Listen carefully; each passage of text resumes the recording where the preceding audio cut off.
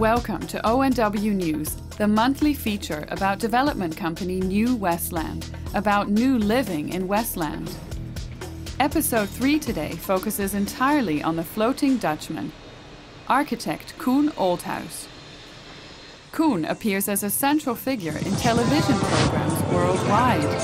Big problems demand even It's a new era for engineering. The reason for all this interest? Koen is introducing a new concept floating houses, apartments, sport complexes, and so on and that is generating interest worldwide. That's right, anticipating the changes caused by climate change and urbanisation and finding alternative solutions to the way cities deal with water. Koen is supervising architect on the New Water project. As part of a new development in Westland, 600 floating homes will be built, including a floating apartment complex a project which is attracting a great deal of international attention. Camera crews arrive one after the other. This is Chinese television, who made a program about Koen and the new water a few weeks ago. Here, they are actually standing in the middle of an area which will ultimately be flooded. Because when you came here 50 years ago, many things were happening over the water. People were using the water for infrastructure much more. To foreigners, it remains a mysterious phenomenon. How do we deal with so much water in the Netherlands, especially as we live below sea level? The new water offers a different approach to an ancient problem.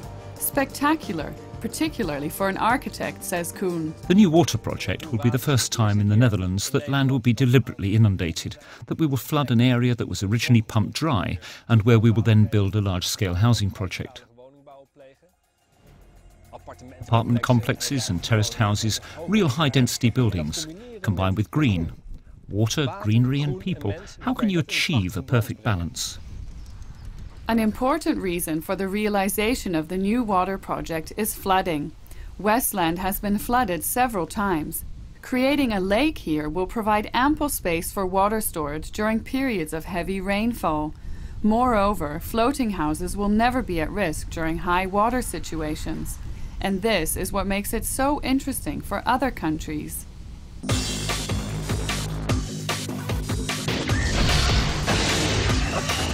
As future cities grow, so do the dangers of climate change. In the current world crisis that we're in, we need to rethink cities from scratch.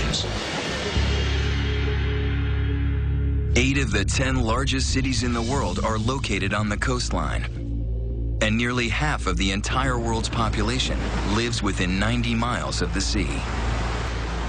But what if we could build cities that ride the rising tides? So we have to find new solutions, not fighting against the water, but living with the water. Koen Olthuis wants to build entire cities that float, using building blocks of foam slabs encased in a concrete shell. Putting them together, he can create platforms as large as 400,000 square feet. That's the size of two city blocks. That gives us a lot of very stable, large-scale foundations on which you can do almost anything. You can build towers on it, apartments, uh, put trees on it. Because of his expertise, architect Koen Olthuis is now consulted from all over the world. Spectacular projects in places like Dubai, the Antilles, and the Maldives. Olthuis is like a little boy who wants to use his building blocks to change the world, literally. Imagine you have a normal city. There are buildings, apartments, or skyscrapers. They're all next to each other. Let's say it's Manhattan. Roads, streets in between, and water surrounding everything.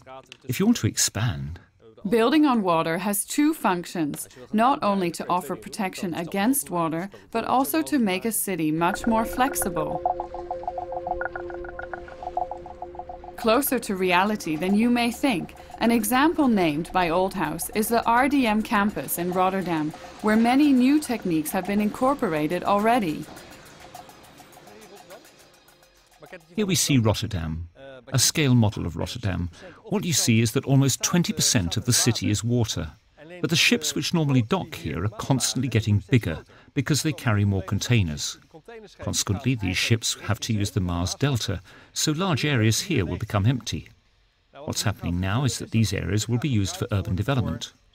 One of the areas where this concept will be trialled is here at the Rotterdam campus, RDM campus. In several years' time, you can expect to see floating homes here, or floating parks, schools, a truly inspirational place. Eh, scholing. Dus een heel inspirerende plek. En wat nou het meest mooie van zo'n stad is, is dat we... The best thing about a city like this is that it becomes much more flexible. Look, I've got an iPhone here, and an iPhone has apps.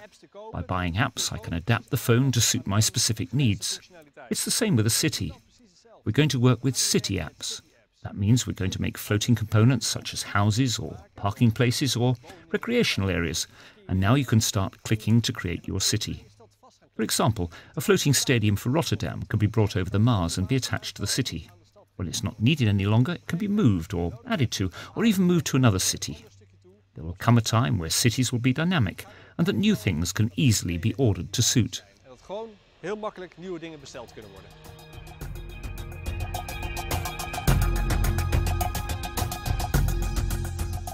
More flexible, but also safer.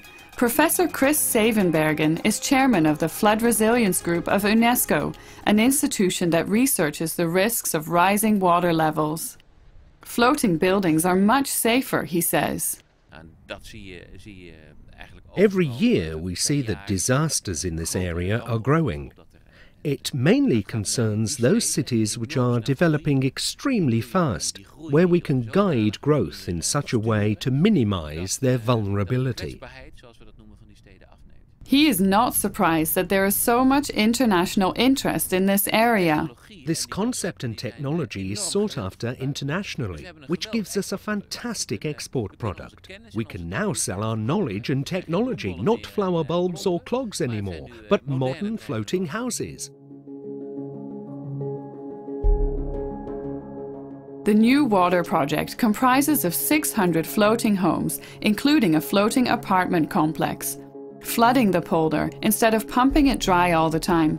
Architect Olthuis is convinced that this will happen to many more polders in Holland.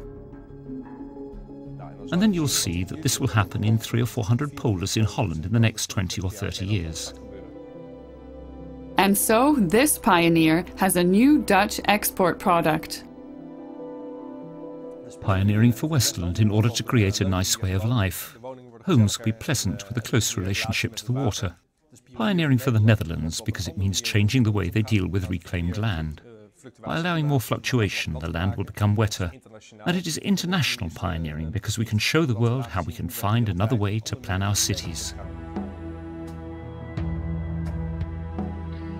Coming up in ONW News in the next few months, which economic opportunities does this development offer? And what is it like to live in a floating house? And so on. ONW News, every month on WOS.